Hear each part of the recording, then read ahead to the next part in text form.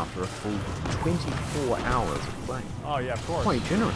But then word about this spread of follows. Then to Reddit, and a post got 12,500 upvotes informing people that this made pretty much everyone eligible for a refund, and the comments told them exactly how to do it. Bethesda was flooded with requests for refunds. And their response? This is so Shut it down, lads. No, no, no one gets a refund now. Everyone go home. Show's over. Robot customer service man engage. Wow.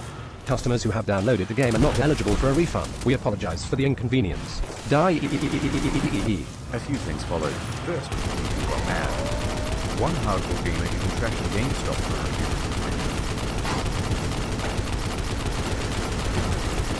review. Yeah, dude. Woo! Fuck him, dude. A bit of an overreaction. No, what? No, not at all. It's completely normal. Wow. And third, a class action lawsuit. Their inconsistent refund policy Imagine having a game so bad you may get not be strictly legal.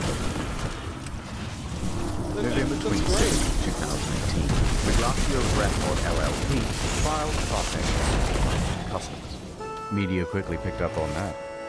Their main argument is that it's a sometimes unplayable game owing to its technical problems, then they're refusing refunds, and that Bethesda is engaged in a strategy to release it anyway and then slowly patch their way into a more playable state.